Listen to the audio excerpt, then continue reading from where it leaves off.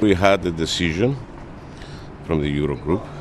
This decision is painful for the Cypriot people.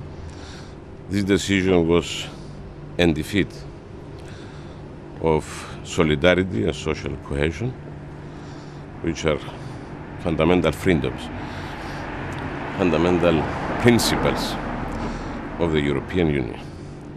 So as soon as possible, we have to prepare our economy to go out from the mechanism and the troika. But also But the parliament has been put Thank you aside, very much. Mr.